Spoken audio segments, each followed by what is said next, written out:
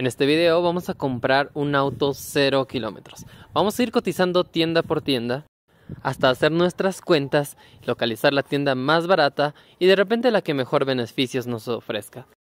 De todas las marcas y tipos de vehículos que podíamos escoger, nuestros seguidores dijeron que querían un King Long. Muchas veces les había dicho que el King Long no es de las marcas más recomendables. Yo de repente les aconsejaba un Photon pero todos los seguidores decían un Trophy Kinglong. Así que nos fuimos a la tienda y empezamos a preguntar los Kinglong techo alto. Y obviamente la versión Lobo. Porque si vamos a comprar un auto que lleva el motor delicado, pues mejor compremos la versión que aguanta más y que menos problemas da. Y comenzamos con la tienda que se llama Autocar. En esta parte de la avenida Blanco de Lindo pues hay tiendas casi cada cuadra de vehículos chinos, así que era más fácil preguntar. Preguntamos los precios, los beneficios y nos pasamos a la siguiente tienda más allá.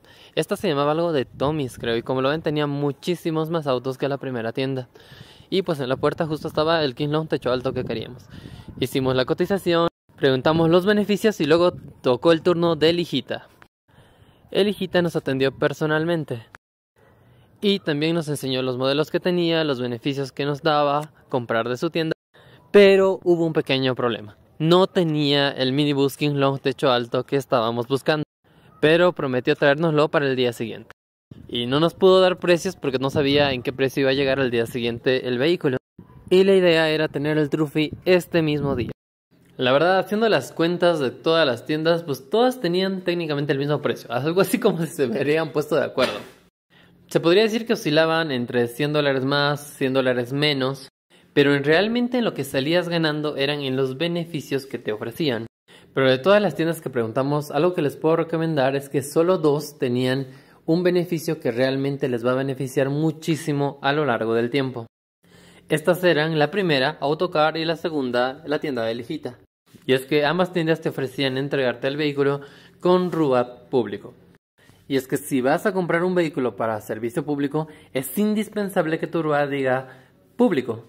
Hacer cambiar tu RUA de particular a público, pues uff, te sería un papeleo terrible. Pero bueno, la tienda ganadora en este caso fue la tienda Autocar. Y es que esta tienda nos ofrecía un beneficio que ninguna otra tienda ofrecía también. Y es que te daban el vehículo con todo y becisa. Técnicamente todos, todos, todos los documentos que tu vehículo necesita. Y bueno, y aunque nos salió 100 dólares más caro que respecto a las otras tiendas, pues créanme que este beneficio valía la pena en todo sentido. Además de que nos lo entregaron con el tanque de gasolina 100% lleno, ahí como lo pueden ver.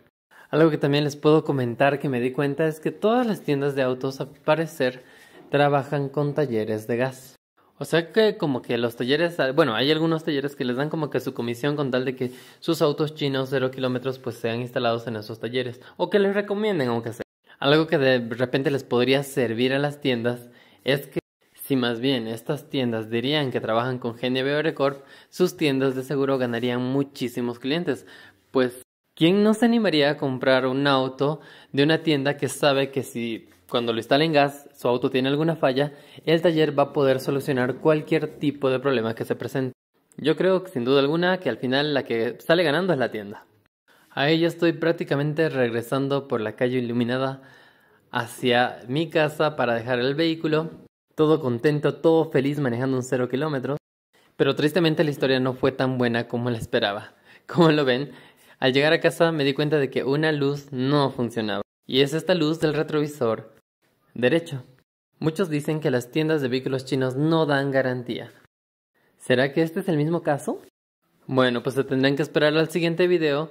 Puede ser que al día siguiente pues voy a ir a la tienda para ver si de repente me cambian el foco o me lo arreglan.